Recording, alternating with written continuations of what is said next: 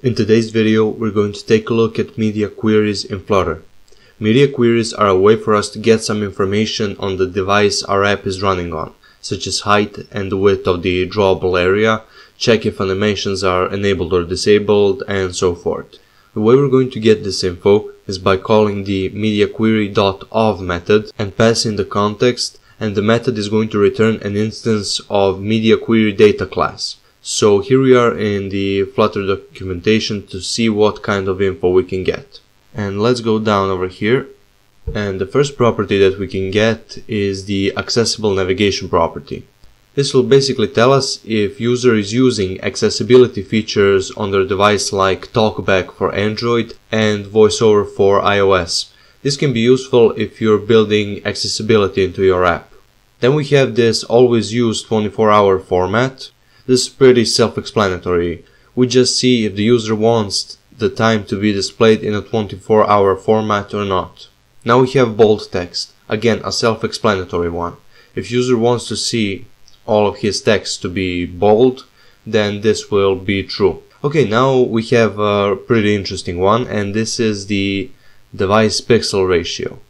This is going to return a ratio between the logical pixel and the real pixel. It's also worth mentioning that device pixel ratio is different across devices, but you may ask yourself a question, what is a logical pixel? Well, a logical pixel is when you set the height and the width of something to x. x is the amount of logical pixels it's going to take up, and to get the number of real pixels it's going to take up on a certain device, we just multiply that x by the device pixel ratio that we get from this media query. So let's say you set the height of, uh, let's say, container to be 50. To see how much real pixels it will take up on that specific device, you get the device pixel ratio, let's say it's 3.5, and you can just multiply that by 50. In this example, the container will take up 175 pixels on the device. This ratio can be useful when you're trying to make your app really be pixel perfect, but you will most likely never use it. Now we have the disable animations. This just indicates if the user enabled or disabled animations in the settings. This can be useful based on if and how you use animations. If there is some operation that is dependent on an animation, you can use this to check if the user disabled them and then provide an alternative non-animated solution. Now orientation. This will indicate if the device is in portrait or landscape mode. This can be useful if you want to lay out the elements differently for each orientation or if you maybe want to show some additional content if you're in landscape because you have more space. Alright, now there's padding. This will indicate how much space is obscured by the system UI. I don't see a real use for it, but I might be wrong. If you can think of some practical use for it, let me know down in the comments. Alright, platform brightness, pretty self-explanatory one. Size. This will give you the height and the width of the drawable space. This can also be useful when you're trying to get pixel perfection.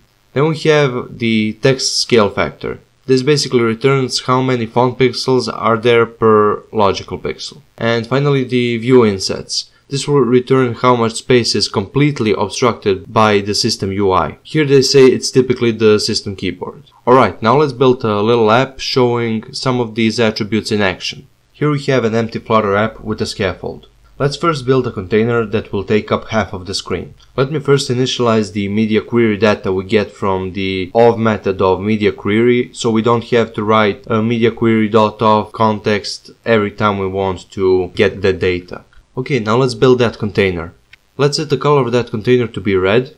And we're going to get the height using the size property from our media query data. And the size will contain the height property. So we're going to set the height of our container to be data.size.height slash 2 in order for the container to take up half of the screen. Okay, now let's run the app to see how this works.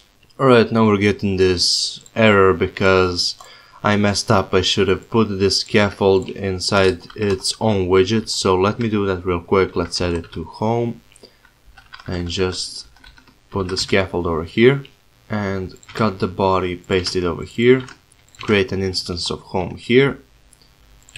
And alright, let me now refresh the app. And here we have our container. It's taking up half of the screen as you can see and there's not that much I can say about that. Now let's create a text widget and display the device pixel ratio just for the sake of it. But now since I'm going to add additional widgets to this, I should cut this out and wrap this. Actually, I'm just going to wrap it with a column like this. And now I can add additional widgets below our container. Okay, now we're displaying the device pixel ratio for our device. And as you can see on this Nexus 5X emulator, it's 2.625. But if you ran this on a different device or emulator, it doesn't matter you will probably get a different number. And also I here bumped up the text size a little bit just so we can see this a little bit better. Now let's see how many real pixels we can draw vertically. We're going to do that by multiplying the height from our data with the device pixel ratio. We're going to use the same text widget, just a different text. I'm just going to copy this over. Okay, now that we have that, let me save this so our app would reload and it says pixels we can draw over is 1794. I think the height of the screen over here is 1920, but 200 pixels or so are being taken up by this bottom bar probably. And also, let's display the current orientation of the screen and then we'll rotate the screen to see if it's correct. So let's go over here, data.orientation.